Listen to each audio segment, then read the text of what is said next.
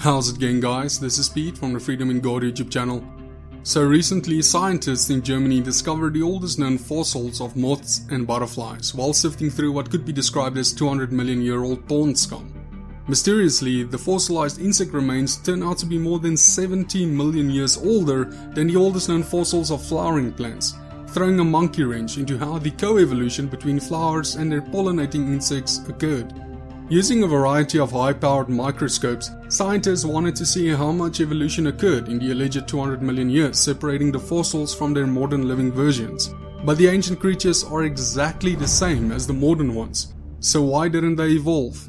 As it turns out, the more fossils we find and evaluate, the worse it gets for evolution. Charles Darwin was well aware of the problems the fossil record presented for his ideas, and he hoped that future discoveries would eventually vindicate his proposition of progressive gradualistic evolution over deep time.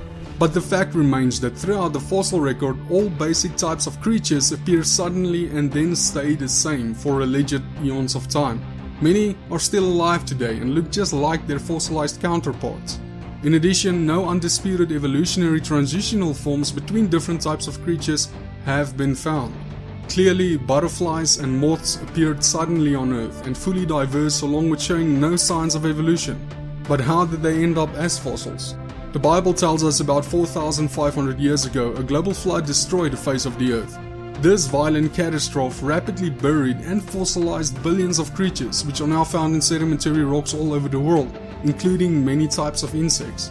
The reason these creatures look similar to their living counterparts without any evidence of evolution is that all things were created by God to reproduce according to their kind, exactly as the facts of science have been showing us in discovery after discovery. Thanks for watching guys and may you all have a blessed day.